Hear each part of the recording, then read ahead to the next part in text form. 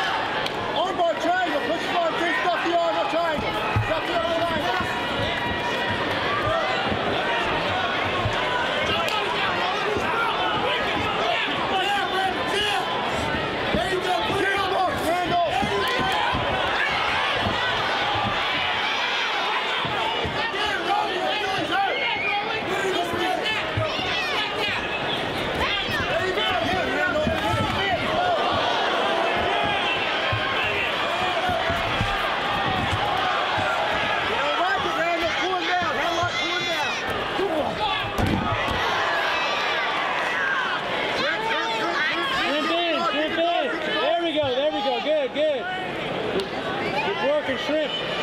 Very good. Armbar triangle, Randall, all day, baby. Armbar triangle. Go for it. You gotta work. You gotta work. Go.